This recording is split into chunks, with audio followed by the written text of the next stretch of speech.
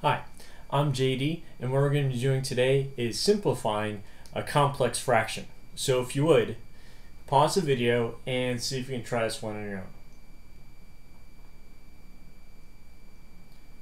Alright, there's actually two different methods to uh, simplifying a complex fraction.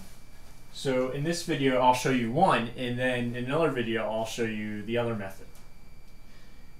In this video, I'll show you the method that I prefer. Look at all the fractions and look at all the denominators and ask yourself, okay, what is the LCD? This is 1 over x squared, this is 1 over x, 1 over x, 1 over 2. And then ask yourself, okay, what is the LCD of all the fractions? And what is it? Yeah, it's 2x squared. So multiply the top and the bottom by 2x squared.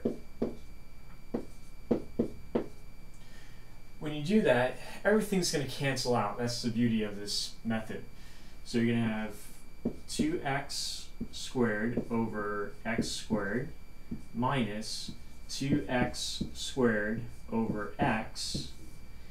And then in the denominator of the larger fraction, you have 2x squared over x plus 2x squared over 2.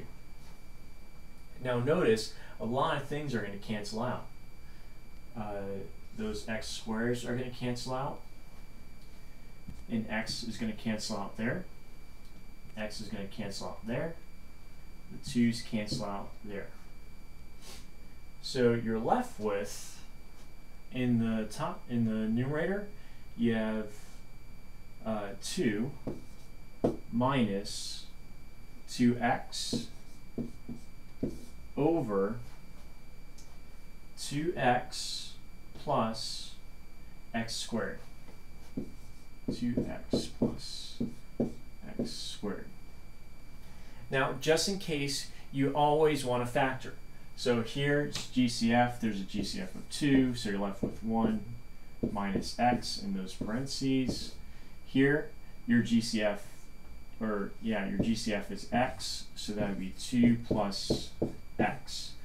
Notice that nothing cancels out. So you can either leave your answer, if the teacher wants it in factored form, this way, or you can just leave it as this. And that's it.